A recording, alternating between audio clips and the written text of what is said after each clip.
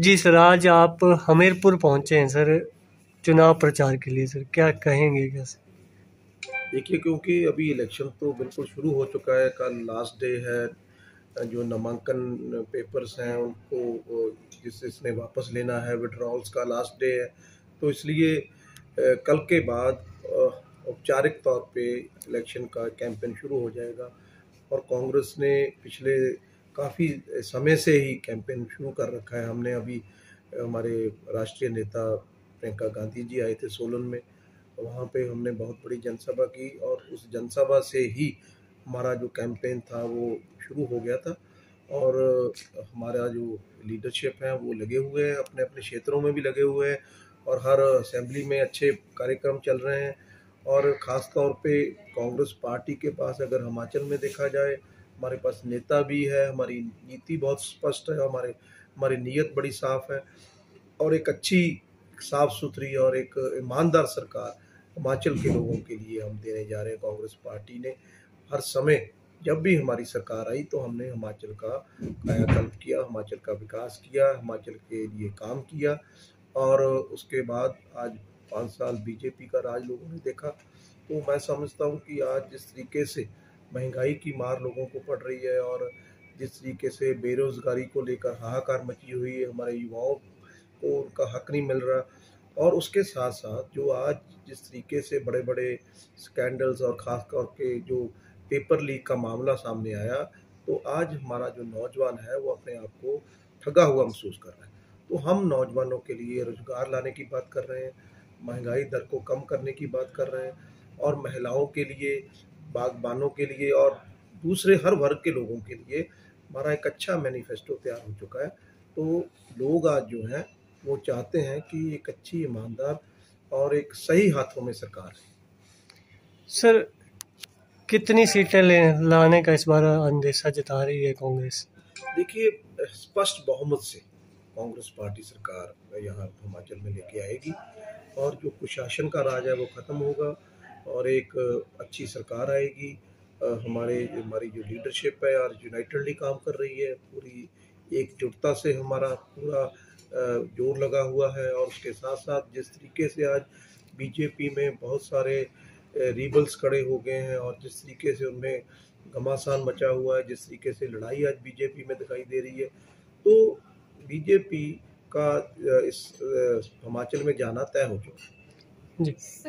देखिए, हमारा पार्टी का बिल्कुल स्पष्ट रहेगा कि कोई भी नेता पार्टी के अनुशासन के बाहर ना जाए। ऑब्जर्वर वगैरह भी पार्टी ने नियुक्त कर दिए गए हैं और हम सब लोग यहाँ आके बैठ चुके हैं। और हमीरपुर में पाँच सीटों में से अगर देखा जाए तो पाँचों के पाँचों हमारे जो उम्मीदवार हैं, वो बहुत ही स्ट्रॉन्ग हैं और पूरे उनका बहुत अच्छा प्रोफ़ाइल है। हमीरपुर में भी डॉक्टर पुष्पेंद्र वर्मा जी जो बहुत लंबे समय से इस परिवार का जो हिमाचल के साथ नाता रहा है और ख़ास तौर पे हमीरपुर में जिस तरीके से उन्होंने सेवाएँ निभाई हैं।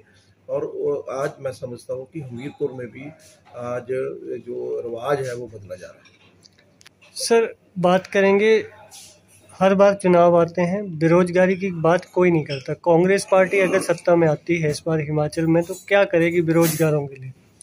देखिए, एक तो हमारा एक बहुत बड़ा प्रोग्राम स्टार्टअप प्रोग्राम जिसमें हम हमने एक वादा किया कि हमने इतना फंड हम राखवा रखेंगे और हर हल्के में जो युवाएँ हैं, हमारे युवा हैं, जो काम करना चाहते हैं, जो अपना काम शुरू करना चाहते हैं, उनको लोन फ्री हम उनको पैसा देंगे और उससे वो अपना काम शुरू कर पाएँगे और उसके साथ साथ रोज़गार की गारंटी हम दे रहे हैं। तो इसलिए युवाओं के लिए बहुत अच्छा प्रोग्राम कांग्रेस पास कांग्रेस पार्टी के पास है और पूरा बिल्कुल उसको देख के, बिल्कुल समझ के ये मैनिफेस्टो तैयार हो चुका है। तो इसलिए हिमाचल के लोगों को अब एक बदलाव चाहिए, एक हालात बदलने की आज बात चल रही है, सरकार बदलने की बात चल रही है। तो युवाओं में आज बड़ा गुस्सा है इस जो बीजेपी का शासन है। तो इसलिए कांग्रेस पार्टी युवाओं के लिए एक बहुत अच्छा एक बड़ा प्रोग्राम लेके आ सर ओपीएस की बात बड़ी गरमाई हुई है प्रदेश में, बल्कि राष्ट्रीय स्तर पर। क्या करेंगे कांग्रेस इसके लिए? ओपीएस के लिए क्या चुनौतियाँ सामने आएँगी कांग्रेस के, और क्या इसके लिए करेगी कांग्रेस? देखिए, हमारा वादा है कि ओपीएस शुरू करने जा रहे हैं। हिमाचल में जब हमारी सरकार आएगी, पहले दिन हम, हमारा ये वादा है, जो पहली कैबिनेट बैठेगी, उसमें ओपीएस को लागू किया जाएगा। क्योंकि हमारे दो प्रदेश, जैसे जैसे छत्तीसगढ़ और राजस्थान में, वहाँ भी ओपीएस का, उन्होंने ऐलान शुरू हो चुका है वहाँ तो। और जहाँ हमारी ये झारखंड में मिली जुली सरकार है, वहाँ भी ओपीएस शुरू हो गया। तो इसलिए जो जो गैर भाजपा शासित राज्य हैं, वहाँ पे ओपीएस शुरू हो चुका है। तो हिमाचल में से भी दोबारा शुरुआत होगी, क्योंकि यहाँ जो हमारे मुलाजम बहुत बड़ी तादाद में है तो उनको एक बहुत बड़ी राहत कांग्रेस पार्टी देगी। सर अभी आप आए हैं चुनाव प्रचार के लिए ब, क्या बड़े नेता भी इसके बाद देखने को मिलेंगे हिमाचल में? बिल्कुल। अब कल से जब ये नॉमिनेशन जो विड्रॉल का होगा उसके बाद कैंपेन औपचारिक तौर पे शुरू हो जाएगा और हमारी बहुत सारी रैलीज लगी हुई हैं। प्रियंका गांधी जी आएँगे हमें आशा है कि हमारे नए अध्यक्ष मल्लिकार्जुन खड़गे जी आएँगे और राहुल गांधी जी क्योंकि भारत जोड़ो यात्रा पे लगे हुए हैं। बहुत बड़ा उनको वहाँ जन समर्थन मिल रहा है भारत जोड़ो यात्रा को। और भारत से जुड़ा हुआ हिमाचल प्रदेश है तो हमारी कोशिश भी रहेगी कि राहुल गांधी जी भी आए और वो भी लोगों को यहाँ आकर संबोधन करें।